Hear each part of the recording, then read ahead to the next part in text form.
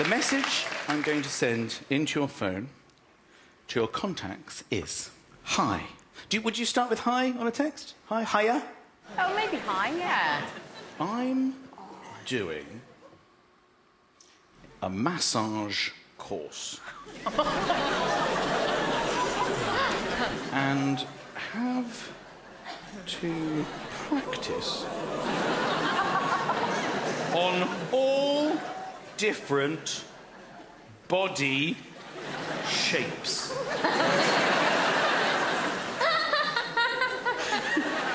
I really think you would be perfect.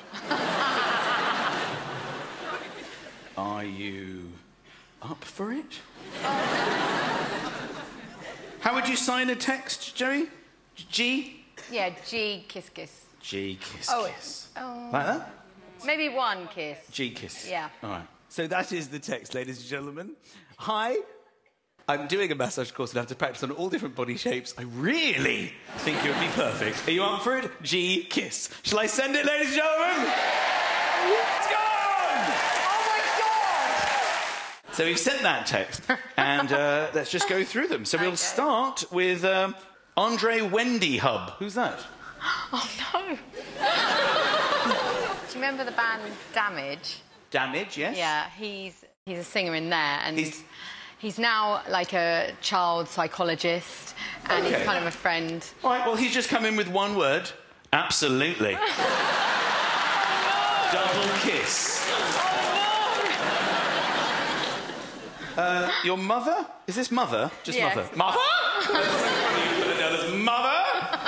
Geraldine, sorry, I only had two massages in my life. I hate it. It's got a great ending. Try Catherine, she's my shape. That's wonderful from Mum. Oh, try Catherine, she's my shape. Oh. Everyone believes it's happening. Uh, Kevin? Oh, Kevin. Who's Kevin? Kevin is like this school chef. The Like big- school chef. Well, that I sometimes get him to help me, like over Christmas. You know, when there's loads of potatoes to peel, he comes over and helps me. Geri, you've lost this audience. When there's loads of potatoes to peel, you get not the volume. school chef. Oi, you, come here, I've got some potatoes. Get peeling, all right?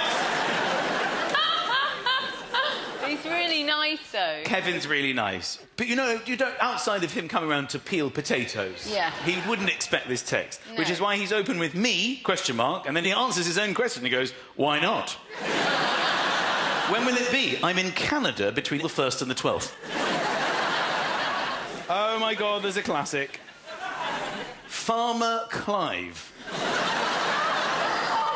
I'm, ass- I'm assuming he's a farmer. Yeah. How do you know Farmer Clive? Because I was at this party Yes. and um, in the country, and I was going to surprise my husband and buy him some sheep. As you do. As you When you're an international pop star. Yeah. Surprise him with some sheep. yeah, so we got chatting, so I took his number. Oh, So, no. you got, so farmer. So, So you he only thinks met I him once, and it was about the possible purchase of some sheep. Yeah. He's a farmer. He's called Clive, and he's in your phone. I'm permanently in the lambing shed at the moment, so it would have to be on a straw bale. Oh, my God. Oh, my God. Oh, my God. I'm going to text him back. I'm on my way. All right, ladies and gentlemen, Geri has a very busy couple of months ahead of her. Thank you so much.